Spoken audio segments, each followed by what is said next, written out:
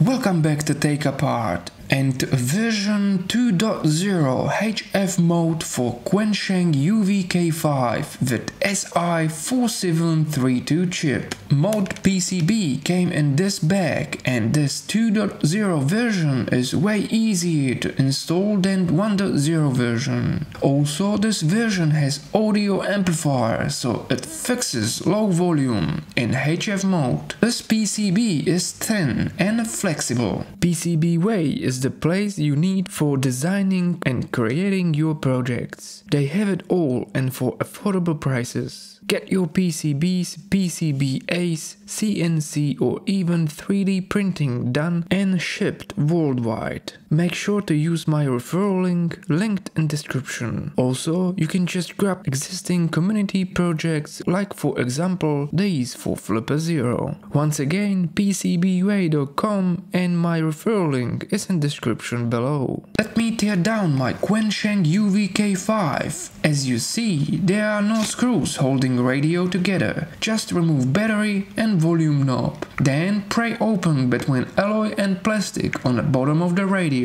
like so. Next pull out internals from the housing on an angle. Be careful, as speaker wires are soldered on. Don't rip them off. I'll quickly desolder them. For 2.0 version of HF mode we have to remove this 8-legged chip and also these two white components. New PCB will sit here, like so. Easiest way is to cut off all 8 legs of the chip and then desolder them one by one. Be careful as everything is tiny. Now I will remove two white components. These two suckers, like so. Here we go, all is prepared. There is no more removing needing, unlike in version 1.0. New PCB goes here. Product links are in description below.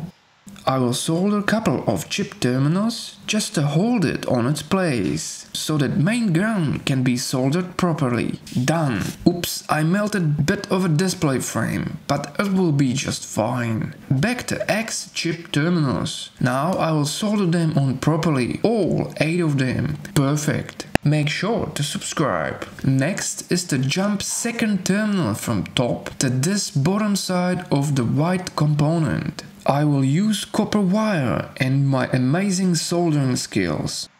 Check my video where I installed version 1.0 mode.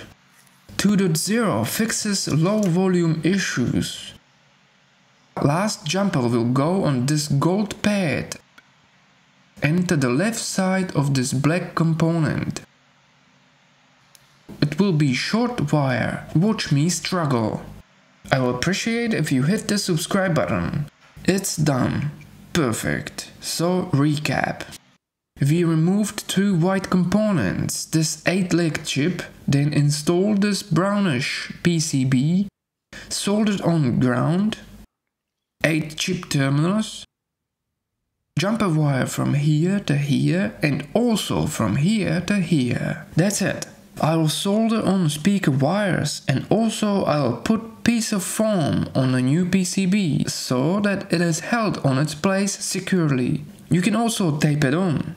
And radio goes back together just like a Lego. Done. Volume knob, antenna and battery. Let's see if it works. It does, but it has a stock firmware. So head to GitHub and download CEC firmware. Links are in description. You will need a CEC 041 version. Then flash it to the radio. I used browser flasher tool. Few seconds later will be CEC 041 firmware on my newly modified radio. Product links are in description below. Also all links related to this procedure. All done, we can test it out now. Radio on, CEC 041HF as you see.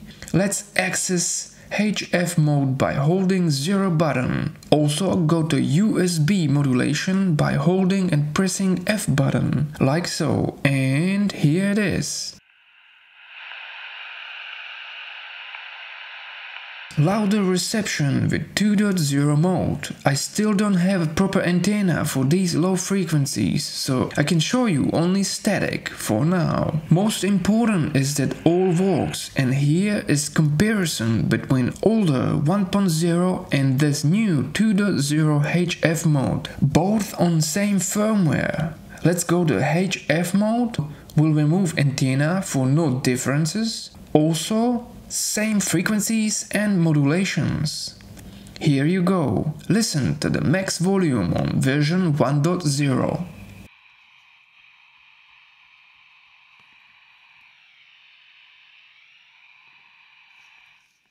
And now on version 2.0.